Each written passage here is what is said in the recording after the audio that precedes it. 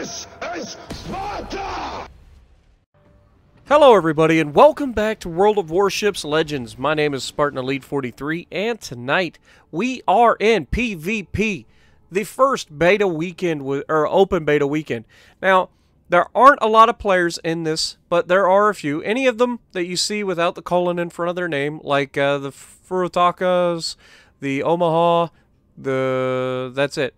All of the cruisers on the enemy team are all uh, real players. And so uh, we've got a couple on our team, they've got a couple, and we are going to get out here and have some fun.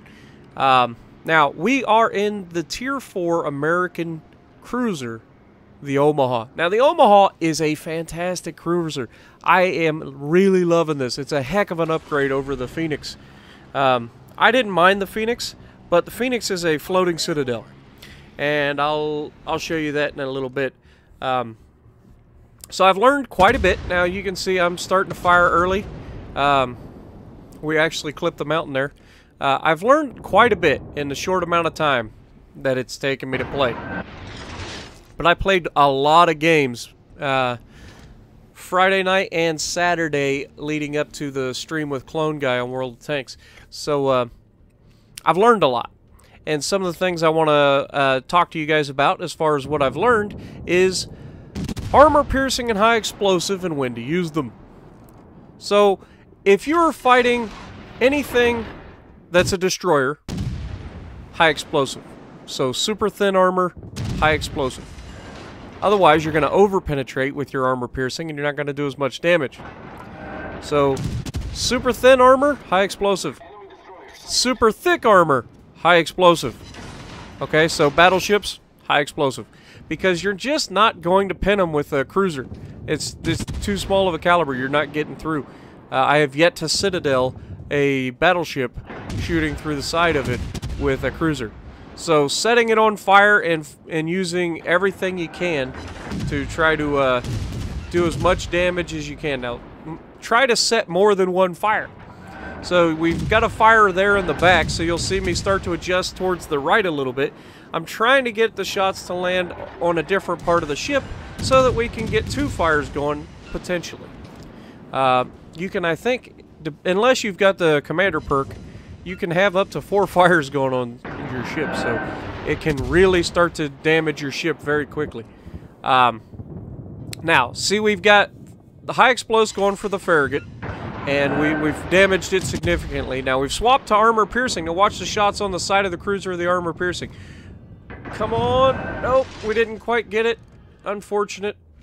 Uh, we have armor piercing loaded here, so we'll just go ahead and unload it. Um, now, it looks like we've got quite a few guys out here. Uh, another cruiser.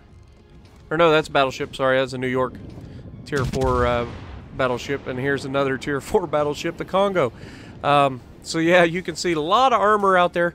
We're going to go ahead and try to throw some torpedoes at him.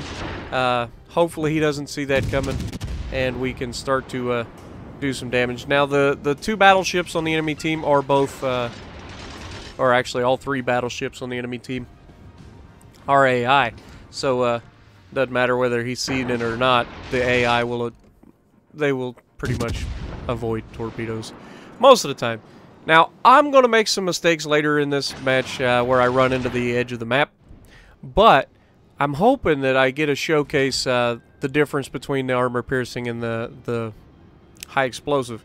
So we've already seen what high explosive is capable of, setting those battleships on fire. And I'll be honest, as a battleship captain, it is so annoying to be set on fire. But it's not as bad as torpedoes. So given the choice of being set on fire or torpedoed, I'll take the fire any day of the week. Because fire damage, you can... Um, still fight with, and you can recover most of it with your uh, damage recovery on your battleships.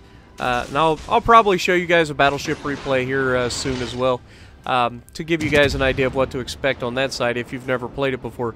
Now you can see quite a few rounds coming in from our left side here. Uh, these guys are almost in, in firing distance, but not quite. Uh, so we're just going to keep focusing these guys down with high explosive launching a whole bunch of torpedoes in their general direction and hoping that they decide to stop, like, avoiding them at some point. Now, right here is where I run into the side of the map for the first time, and this could have been devastating. Um, it slows you down. It takes a long time to turn, but as you can see, I hurry up. I throw a whole bunch of uh, torpedoes out there. He looks like he's going to be sailing right into it. So, uh, that's not too bad. But the problem is, torpedoes have a limited range. And the range on these torpedoes just happens to be five and a half kilometers. So, you got to keep that in, in mind too. You can't just launch a whole bunch of torpedoes and hope they run into them. Uh, if you're too far away, they're not going to hit them. Now, this guy has just turned. He's going slow. He's on fire. And he's very close. Which means this next salvo of torpedoes is almost a guaranteed hit. So, while those are on their way and they look to be flying true, we're going to go ahead and uh, switch to armor piercing and show you what they're capable of doing to this Omaha. Now, this is an actual person against us here. Now, watch. He's firing high explosive at us and... Wait for it. Side on to us. Can we get the Citadel? Nope, didn't get a Citadel there. Come on.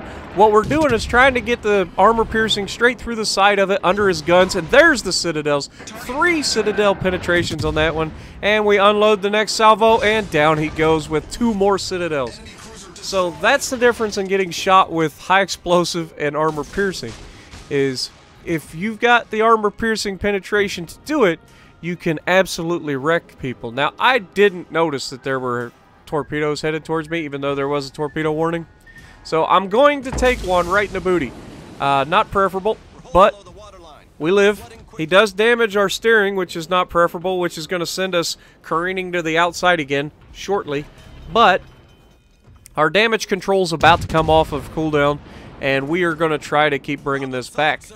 Uh, so we've already used it. That fixes our steering. It also uh, fixes the flooding issue. We've only got 2,300 hit points left, so we've got to be careful. Now, just as I get ready to uh, launch these...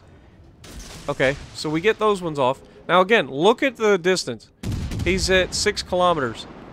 Those are not going to reach him. We need him to close the distance. So we're launching him straight at him. We know we have a, a range of five and a half, but if he move or if he moves to avoid the one set, maybe he'll hit the other set. And he's coming towards us, so that hopefully will help. Now, again, just spamming high explosive right into the front of him. Actually trying to hit the superstructure. You don't want to hit the, the hull as much as you do the superstructure of the ship, so you can try to set it on fire, set the deck on fire.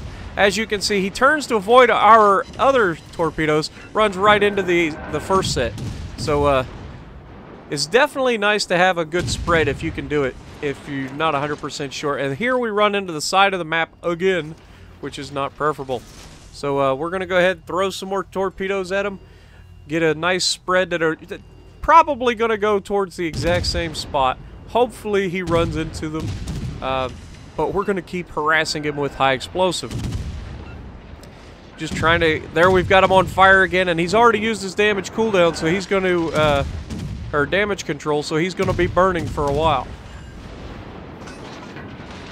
So, now we're getting shot at from the left side, which is not good because we don't have the health to take this. So we're just kind of watching, making sure. It looks like those torpedoes are going to fly true. Nope, he actually uh, avoids them. And just as we turn to uh, launch the, the other side of the torpedoes, our original side came back and we actually crash into the edge of the map again, which is not going to go well for me, unfortunately.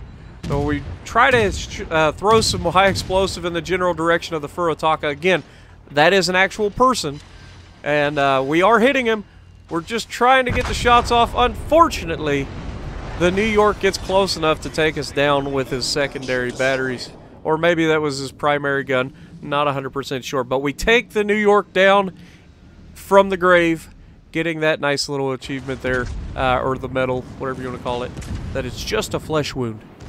Just a flesh wound. I'm just dead. It's no big deal. I can still kill you. Now that brings it down to just a 1v1 between two computers.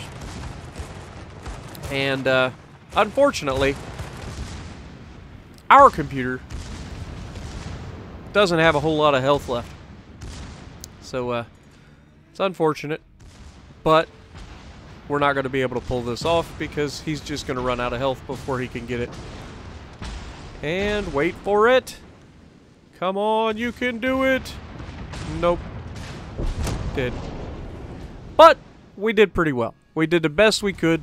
Uh, some good PvP action. Lots of torpedoing. Pretty solid game. 127,000 damage with 114 hits with the gun, 5 torpedo hits, 3 kills, and 5 uh, Citadel hits. So if you like what I'm doing, punch the like button, leave a comment below, subscribe to the channel if you haven't already, and as always, I will see you in the next video.